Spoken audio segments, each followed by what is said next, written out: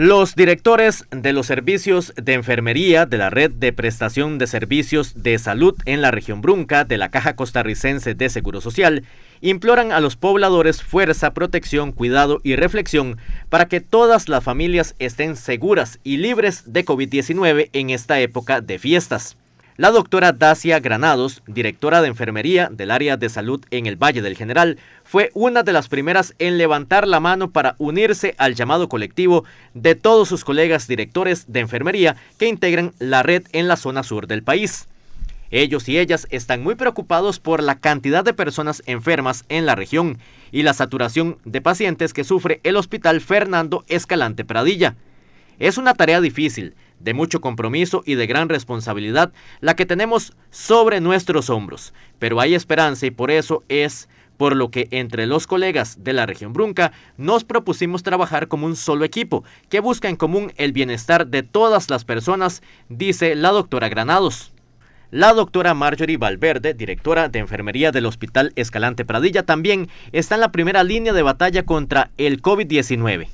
Estos son algunos mensajes de los líderes de enfermería de la región Brunca. La doctora Marta Chévez, del área de salud de Buenos Aires, dijo que la tentación de salir innecesariamente no sea más fuerte que usted. La doctora Marjorie Valverde del Hospital Escalante Pradilla, no desfallecer en estos días de amor y paz. La doctora Julie Rodríguez, de San Vito, que la sensatez y el compromiso prevalezcan en las familias costarricenses.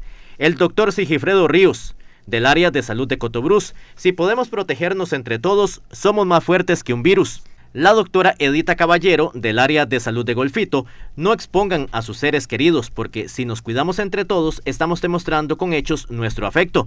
La doctora Ana Lorena Villalobos, también comentó que los pobladores de nuestra región hagamos equipo juntos, nosotros. Les orientamos en el quehacer cotidiano, pero ustedes protéjanse mucho, dijo la representante del área de salud de OSA la doctora Mirna González Acosta, de Corredores. Reinventémonos, hagamos actividades virtuales, tamaleadas sanas y no olvidemos que queremos familias seguras. La doctora Eira González, desde el Hospital de Golfito, dijo, de corazón les pido proteger mucho a los adultos mayores y personas con enfermedades crónicas como diabetes, asma e hipertensión arterial.